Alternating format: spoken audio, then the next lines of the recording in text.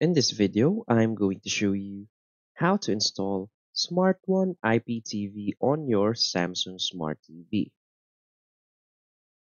So please watch the video until the end and follow this tutorial step by step to avoid making mistakes. So let's get started.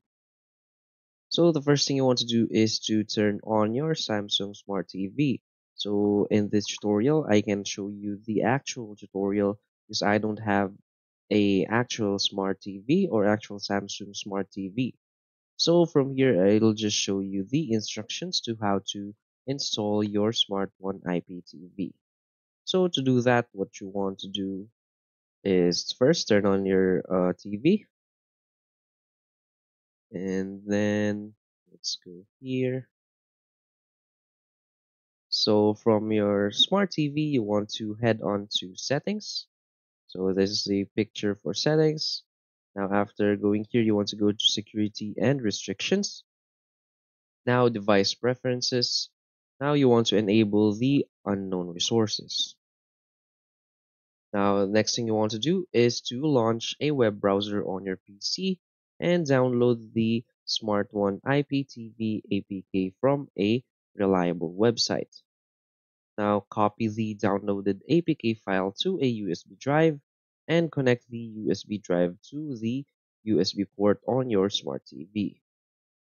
Now, launch the file manager on your Android TV and run the file that you have copied. Now open the app on your smart TV after installation and add the playlist to start streaming the content to your smart TV. So now from here, it says how to install the Smart One IPTV on your Samsung or LG Smart TV. So this uh, tutorial is for Android TV users. But if you have the actual Samsung Smart TV, what you can do is simply uh, press the home button. Now select Samsung Smart Hub or LG TV Content Store. Now click on the search icon to find Smart One IPTV. Select the app and simply click the install button.